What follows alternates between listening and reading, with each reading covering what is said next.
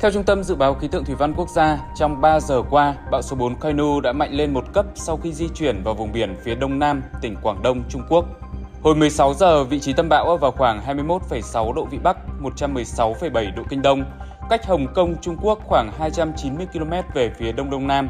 Sức gió mạnh nhất vùng gần tâm bão mạnh cấp 12 đến cấp 13, giật cấp 16. Trong 24 giờ tới, bão di chuyển theo hướng Tây với tốc độ khoảng 10 km một giờ.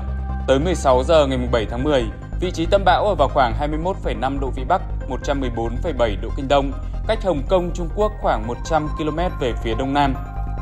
Do ảnh hưởng của bão, trong 24 đến 48 giờ tới, vùng biển phía bắc của khu vực Bắc Biển Đông có gió mạnh cấp 7 đến cấp 10, vùng gần tâm bão đi qua mạnh cấp 11 đến cấp 13, giật cấp 16, biển động dữ dội.